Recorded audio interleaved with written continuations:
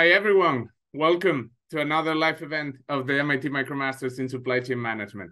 I'm Miguel Rodriguez Garcia, a researcher at the MIT Center for Transportation and Logistics, and I'm the course lead for SC1X Supply Chain Fundamentals. First, I just want to say thank you to everyone for joining us today. Uh, this is the second and final live event of the fall series, a series of cross-course live events for SC1X Supply Chain Fundamentals and SC3X Supply Chain Dynamics, and that's why I'm really happy to be co-hosting this live event with uh, my colleague, Paulo Sousa Jr., course lead of SC3X. Hi, Paulo, how are you? Hey, Miguel, how are you? Thank you for the introduction. Hi, everyone. It's great to be here with you all. We are excited to share some great insights about supply chain in this live event today. Uh, and our agenda for today is the following. First, our guest speaker will give us a presentation that will last around 25 minutes.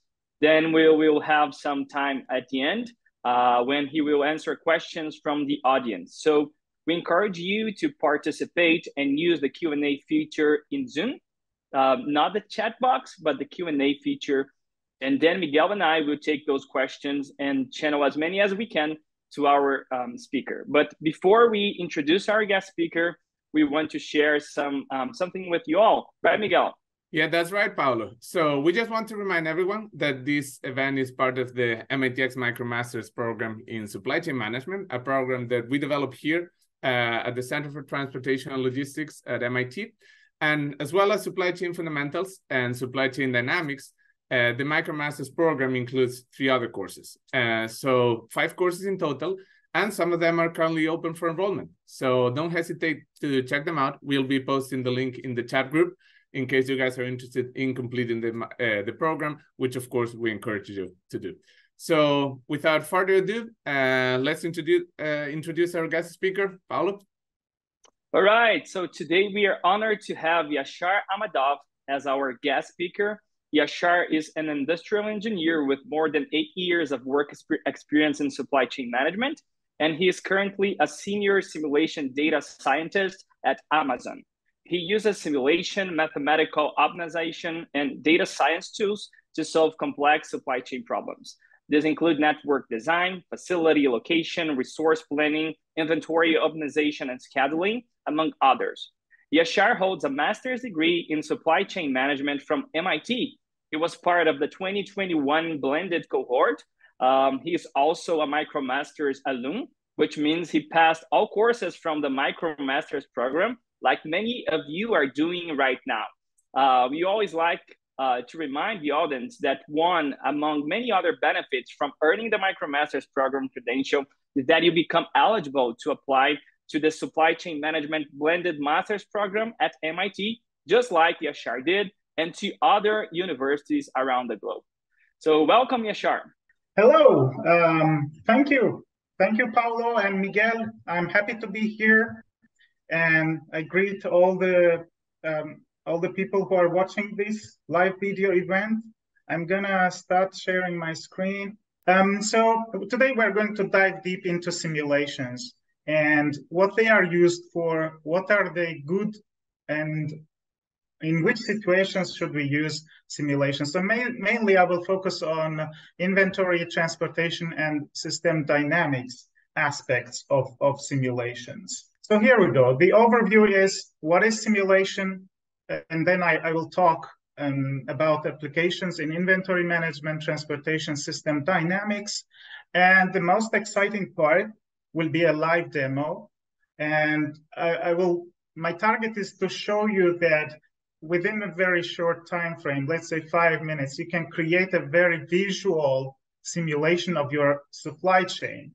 And that's going to be um, the last part. So first of all, what are simulations? We hear this word a lot in different contexts, but it's a collection of methods and applications to mimic the behavior of real systems.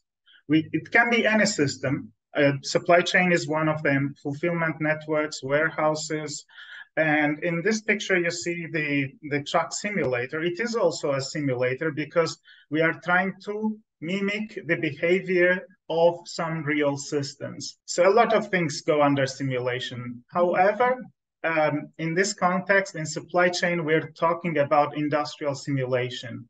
And why we do so? We want to uh, understand, predict the system's behavior, and evaluate various alternatives. So the word digital twin emerged in the last years, which means we have physical factories, we have ports, uh, we have vessels, trucks, warehouses, retailers, and so on. We want to create their visual representation and digital representation so that we can experiment on top of it. And the world is changing fast, the situation is changing fast, and we want some kind of tool that would let us to do what if anal analysis. So there are many different types of simulations within industrial simulations also. At some point the, at the beginning when we did not have very strong computers, the simulations were mainly deterministic, meaning that there is no random variables inside that simulation. And whatever input you give, you always take, or you always get a unique output. On the other hand, we have stochastic simulations, which is the widely used in, in, in this domain. And here you can have random variables. And the beauty of having stochastic simulations is uh, we know that in real life nothing is deterministic right uh, one day we receive orders maybe for a thousand units the next day 1100 the next day 900 it changes all the time between days seasons uh, weeks the lead times are also stochastic that's also one of the major things taught at mitx uh, micromasters in, in supply chain management uh, we have some kind of probabilistic distributions, most of the time we can approach it as normal distribution. And we want to optimize our policies, our resources under this probabilistic environment. So the lead time could be one week, eight days, five days, but it's never a, a stable number. And sometimes there are uh, static simulations that have no time dimension. Um, for example, Monte Carlo simulations, this is also taught. You open an Excel file, generate some random variables, and experiment on top of it. And like we, we mainly focus the ones that are stochastic, dynamic. That is the system behavior changed over time. Right? We have, let's say, thinking of ocean transportation. We have vessels with a number of containers moving. The state of the system changes every minute, every second. And the third dimension is continuous versus discrete. So continuous is system state changes continuous on a continuous basis. And discrete is basically you have discrete points in time, and then that's it. It's um, there are some defined points that you jump from one state to another. An example of continuous system is an altitude of an airplane.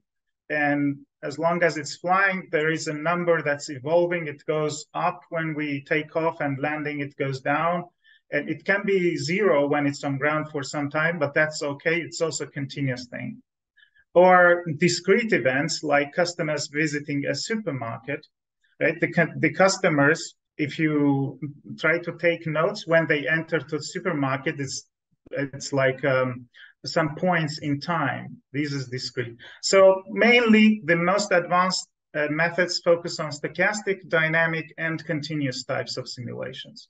Okay, this brings us to the next slide. And in the world of industrial simulation, we have three paradigms, three different worlds. And this started with um, system dynamics and discrete event simulations. And this type of discrete event simulations became very popular in the 90s and 2000 years. And now we have evolved a new stage where we have agent-based simulations. And I'm a big fan of agent-based simulation because it, it lets you model all kinds of complexities. So system dynamics, if you have a look at this chart, um, the y-axis goes from low abstraction to high abstraction, meaning that how detailed you want to model your system.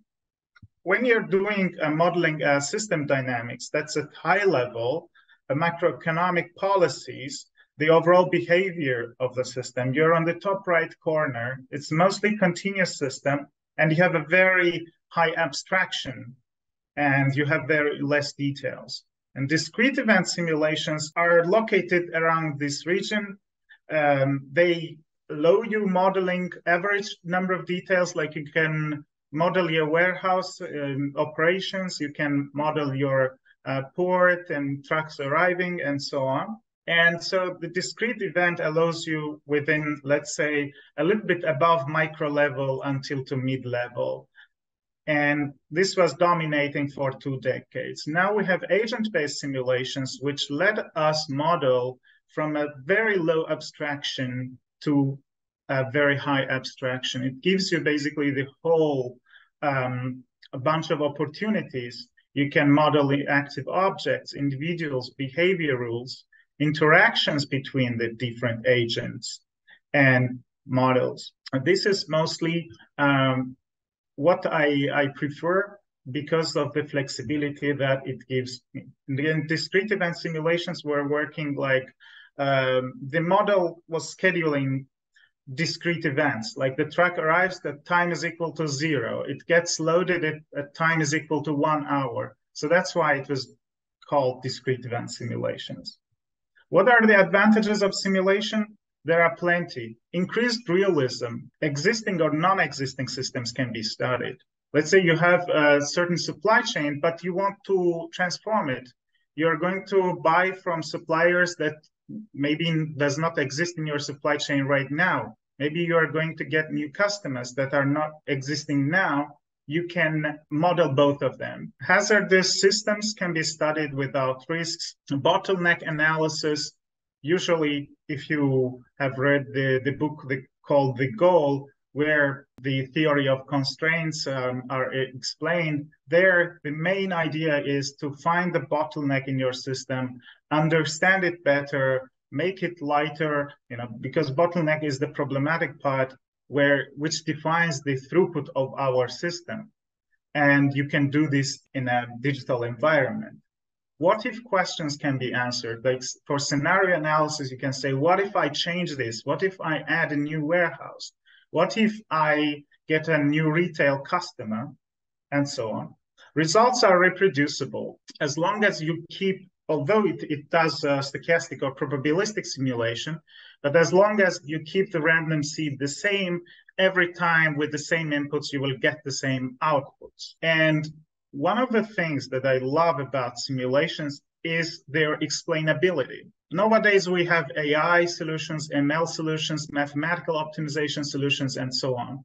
Right? Everybody is now, most of the people are using, for example, ChatGPT when you ask like what is supply chain management it generates an answer. But why does it use certain words but not the others? Nobody can answer that because it is how it is trained based on the uh, data it has been trained. And there is um, a complex neural network behind and it's really difficult to explain uh, complex models why they make certain decision but not the other. So this always comes as a question uh, when using other types of solutions. But with simulations, you can say, hey, and here is the truck, here is the customer, and at that point in time, this was the cheapest option. That's why I chose this route, for example. Ease of communication with the management, especially with the help of animation. And this has helped me a lot when uh, talking to customers, to the leadership management. Like instead of um, like some, some theoretical tables or data, you just open and show what's going on. There are also some cases where you should not use uh, simulation, right? If you can do a common sense analysis, you don't need, there are some simple queuing systems in the literature. If you can use it like for, for drive-in restaurants and so on, uh, there is no need to set up, um, spend a lot of time and energy to build the simulation models.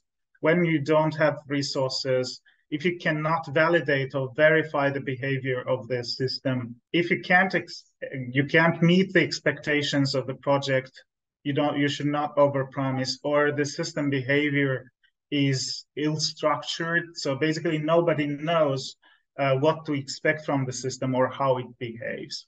This is as a, as a side note. And within this agent-based simulations, there are multiple providers. The one that I use is software called AnyLogic. It's written in Java and it offers GIS maps, space markup tools, 2D, 3D simulations, many industry-specific libraries for process modeling, material handling, pedestrian, rail, and road traffic libraries, fluid library for chemicals manufacturing, for example, and they also have um, a section called system dynamics where you can take it and use, right? So the conveyor system, for example, the transportation system, this is not unique to every company. Some things are generic and already these packages are created for you where you can just drag and drop and, and use them and spend your energy to fine tune um, the model towards the details of your system, the things that are not um, general or applies to everybody. For inventory management, typical tasks, demand forecasting, stock, safety stock optimization, order points, lead time, ABC analysis. Often when you're managing inventory, you use some kind of, again, probabilistic model. You can use um, for example, economic order quantities. You can uh, use order use computations for order up to points or the minimum stocks. Again, you can compute things, but will it work in reality under the uh, probabilistic behavior of the system? So this is a good place to test what is going on and um, what is happening, and you can do scenario analysis. So one of the things that the COVID period taught us is that instead of forecasting the future, better way is to do scenario planning and prepare accordingly. What if World War III starts tomorrow, the, the worst case? And what if everything goes perfectly fine and um, the interest rates again go down and you know the shipping rates are affordable? You can define certain number of scenarios and prepare accordingly. There, this is where um, the uh, simulation comes in handy. And again, for example, for for the uh, the the warehouse simulations, and I, I, do have some simple examples on on how to model this or, or visual simulations. So as I said, this is a sample warehouse simulations. Here you have racks, you have employees, you have um, uh, forklifts, you have trucks coming in. Uh, they bring goods for you, and some of them, uh, these blue ones, they take and take it to your customers. And like here, you can do a lot of different type of experimentation, and um, you can change, for example, let's say you want to know how many forklifts you you need you can change the, some figures from eight to nine and see what is their utilization factors and different number of employees so it is helping you to make decisions on how many resources you need. This is usually the case when make when we need to make a decision on the resources. Uh, we don't want to overshoot and also underestimate. So we, we're trying to find the golden mean. All right. And one of the examples that I liked, the system dynamics, that's like a very high level uh, formulations. Um, they used this agent based modeling to predict the COVID infections.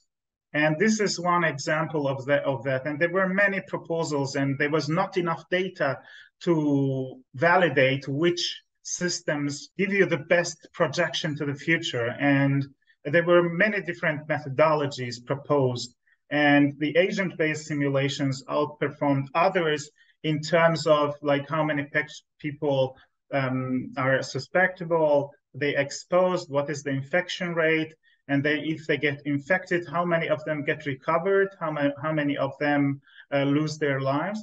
And based on these system dynamic simulations, in, in the hindsight, now we see that the this type of agent-based simulations yielded uh, the most one of the most accurate projections on what's going on. In transportation traffic flow modeling airport port operations public transportation traffic safety many things are possible by using um, um, simulations. Again most of the simulation packages come with gis maps which means they, that already contains the information about the railways, the uh, highways, and you don't need to guess the transit times. It, it already comes in a package. You just tell the origin and destination, and then it is going to tell you what's going on in the system. And for the um, for the uh, system dynamics, again, supply chain dynamics, policy modeling, environmental systems, healthcare systems, and also the COVID analysis that I showed you are some examples of system dynamics. Right now, I will I will stop this and jump onto uh, on, onto this uh, simulation uh, software just to show you that in in a few minutes, in some minutes, you can create a, a simulation that is very visual and you, you, it is basically once you master the basics, it's it, it will take you less and less time. Here is the question uh, I have one manufacturing site in Albany, New York. I have two distribution centers in Springfield, Massachusetts, and Hartford, Connecticut. And I have two retailers in Boston and Providence. So the aim is to create the, the simulation of this small supply chain. So I pick these as, as an example. So, and I, I will show you here on this software uh, I don't expect you to follow all the steps. I'm gonna go fast just to show that it works. And if you later want to follow, I, you can watch the recording or uh, in a slow mode, or uh, I can share some examples of, of, of this step by step. So uh, the first thing here is I'm going to create a new model. I'm going to call it supply chain simulator. And then I'm going to set the model time to hours. And it creates a blank model for me. The first thing I'm going to do is uh, to draw, um, to drag and drop the GIS map. So on, on the left side, there are different libraries that you can use. And one of them is Space Markup, and there is GIS map. And this map, as I said, contains all the information about, um, you know, basically Google Maps, but it's coming from uh, OpenStreetMap provider. So it's a different provider, but um, it it already contains all the routes and highways, and you don't need to to to tell what is the exact route. So in our example, we have one manufacturing site in Albany. So I'm gonna just double click and zoom on uh, around around Boston to to show it easily. And if I search Albany, uh, it's popping up here. I'm going to convert it to GIS map and, and then remove all other elements. So this red point here, it's going to be our manufacturing facility. And then I will, I will also locate to the others, Springfield, Massachusetts. I'm going to type Springfield, Massachusetts, and it's going to give me multiple options. So I'm going to convert this also, which is located here, and then the remove all other elements. And here I will zoom it a bit to see better in this region. So here we go. And then the other one is in Hartford. I'm going to search for Hartford. And then the, the others, I'm going to remove all the elements. The next step is two retailers, one, let's say in Boston, Massachusetts, and then I add it here and remove the others. Then the last one is, is in Providence. It gives me this option. I add it here and remove all the elements. Now I have all the all the nodes located here, right? This is going to be my manufacturing facility, and these two are going to be my um, distribution centers, and these two places are going to be my um, retailers. And once I do this, I can create uh, some kind of collection. Again, on the on the left hand side, you can create different collections, and I will use one for manufacturing site location, right? And it's going to include the um, the GIS point. And once we once I add it into this collection, it is uh, giving me to it the option to iterate over um, over this set. And then you can easily create other collections for um, the, let's say, um, distribution centers, right? And then you can also select here, it's going to be other type, it's going to be a GIS point. And here I will add the distribution centers, which was in, one was in Hartford and the other one was in, and Springfield. And then I will create another, another collection for the retailer locations. And I will add here the other two points, which is Boston. And I will put plus sign here. I will add Boston and Providence.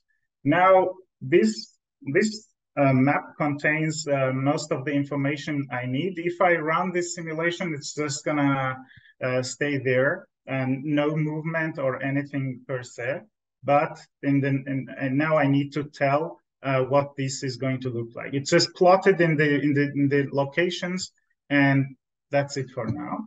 And then uh, now I need to create the actual agents for for different types.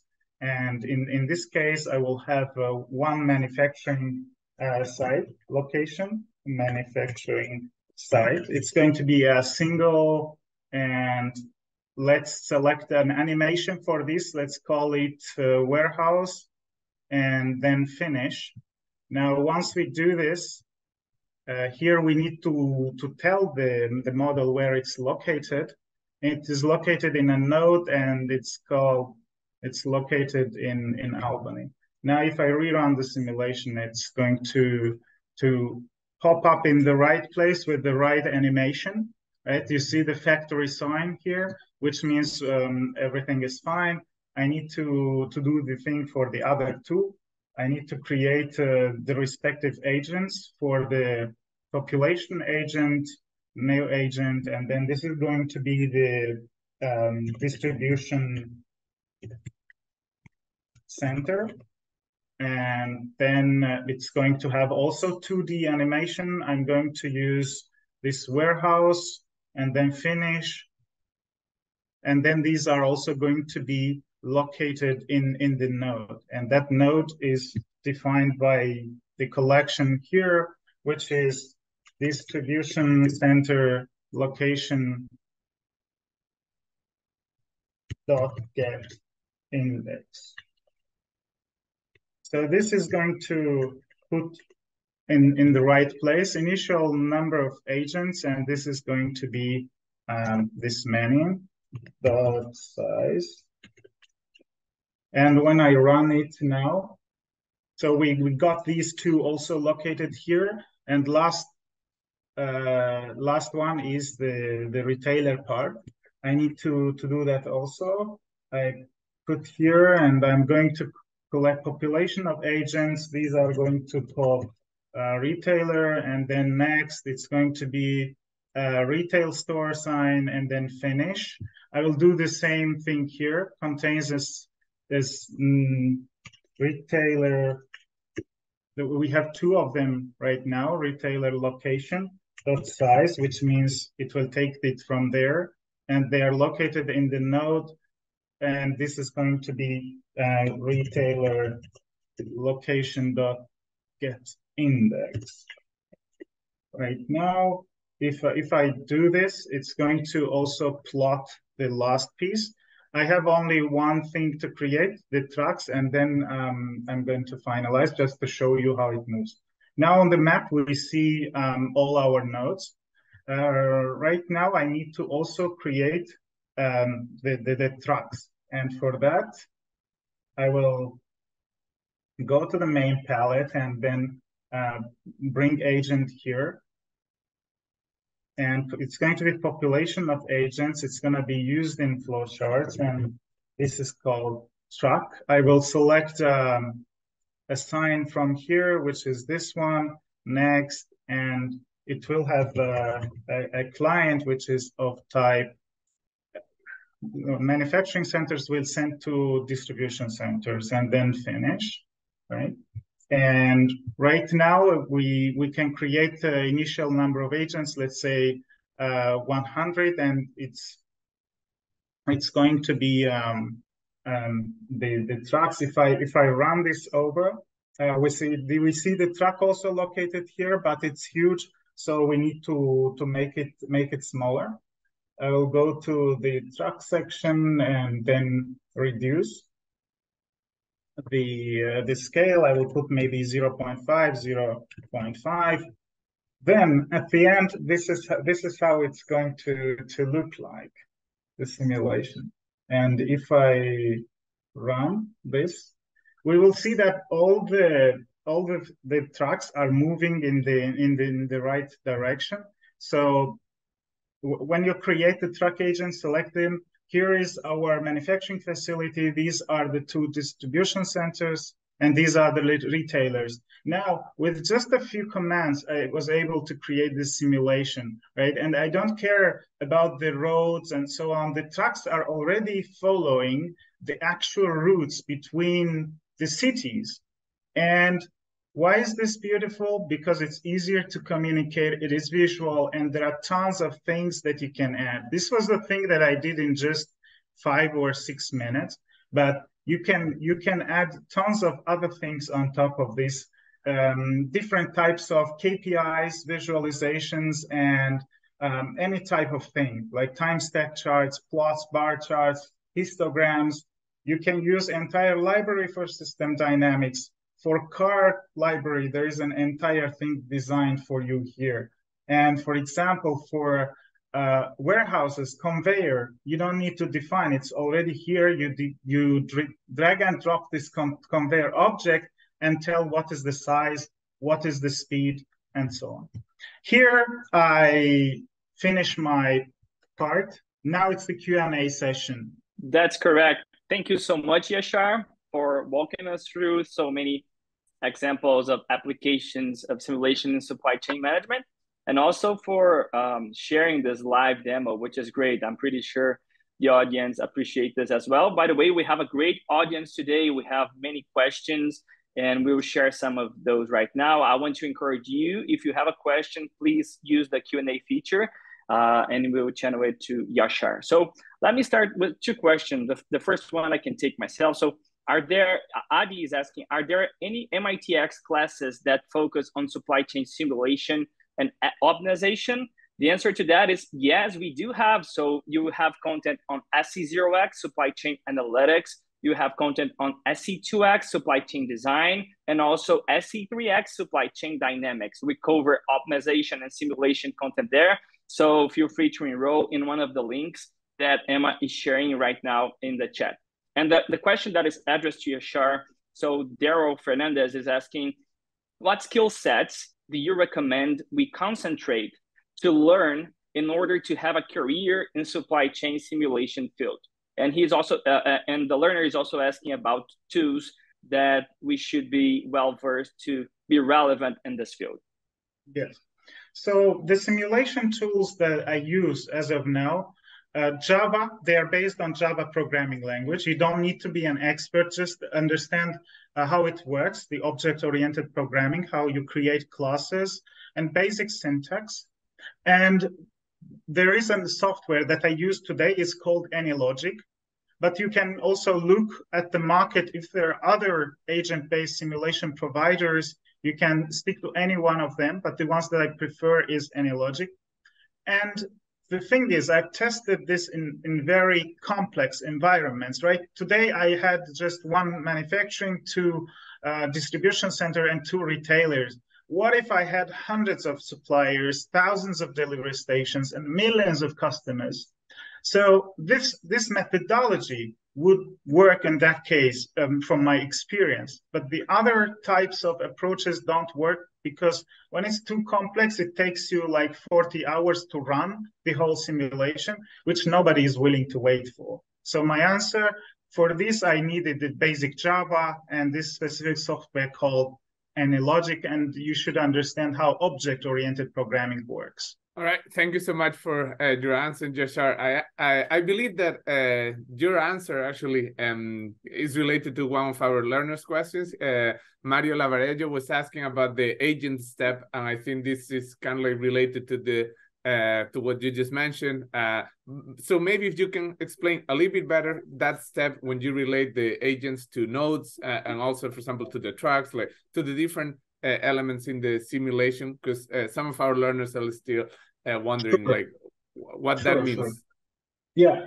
Okay. Um, so very basic thing. You probably, if you're familiar with programming, you know the difference between functional programming and object-oriented programming.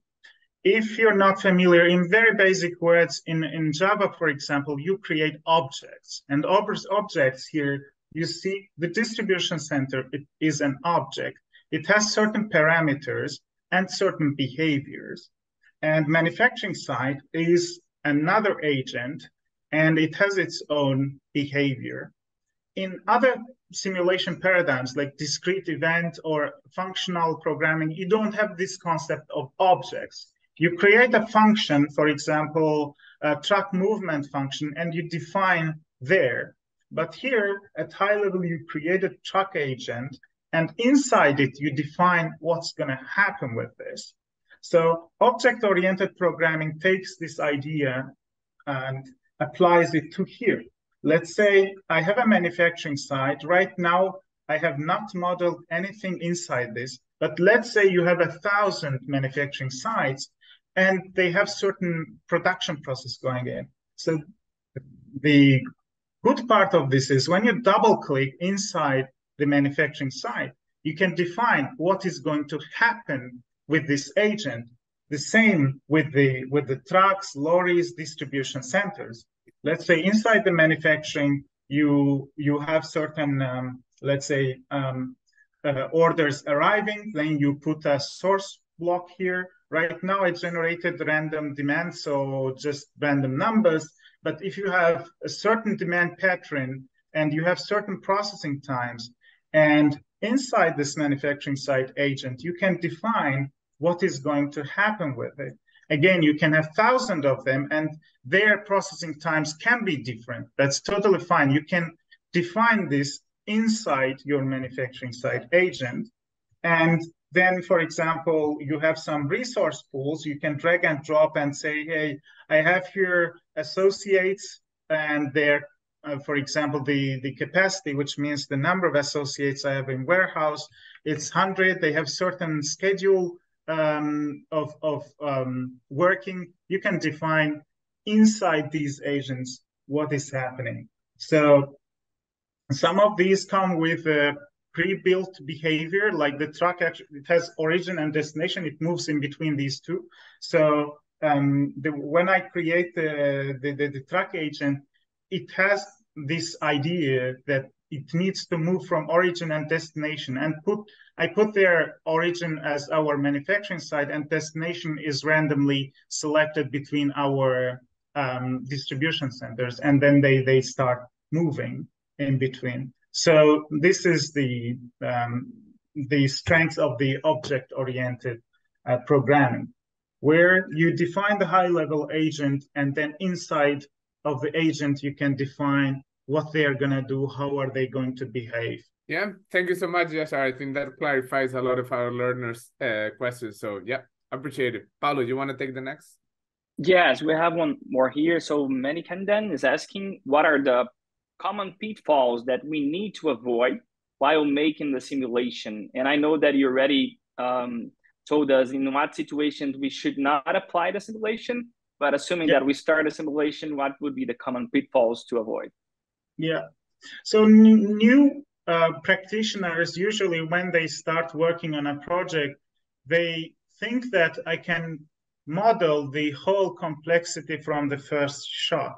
And if you have a very complex supply chain, my suggestion is start simple, like a very build a very small prototype that you that it works and then you can add complexity as you move forward. And at each step, you need to test whether the system behaves as it should do. And for example, here it's visual. If the trucks are going in the correct direction, it means they are behaving correctly.